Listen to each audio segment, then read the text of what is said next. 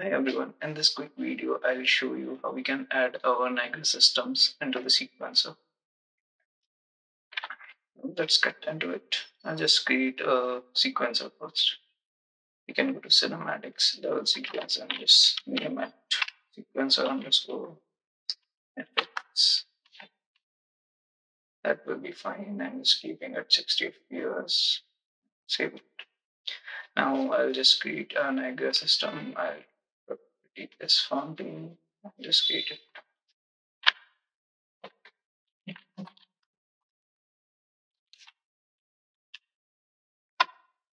Just save everything. So there are few ways we can add this into the sequence. If you double click, it will open. Right now there's nothing. If I just drag and drop this into the sequencer, so this will make it spawnable. What I can do is just here.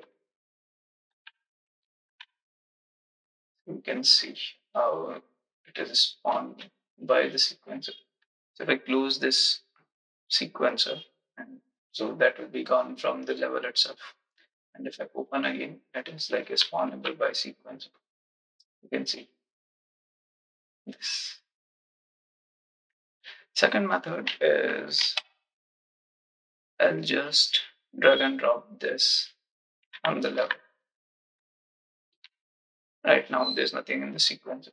But what I can do is from the level itself, either we can add actor to sequencer and then select this one, which is our ns underscore fountain, or just add the ns fountain here. You see, right now it's not controlled by sequencer. So what we can do is add a Niagara component.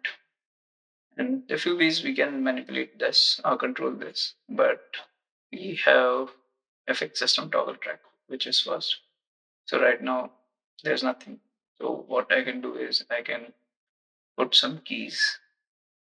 This will be deactivated and on frame 12 it will get activated. And that's it. So currently you can see it is deactivated and when I play on frame 12 it will get activated.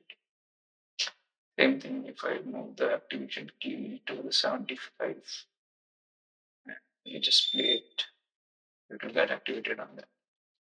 Another thing is in the same Niagara component, what we can do is add a Niagara system lifecycle track, which how we can use is now it's just found where my playhead is.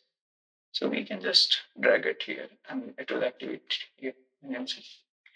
But a very interesting thing is to set it to desired age. So now what it will do is it will play according to the sculpt rate of the sculpt. Though backward doesn't work because it is like non-deterministic. So yeah, that is how we can manipulate our effects.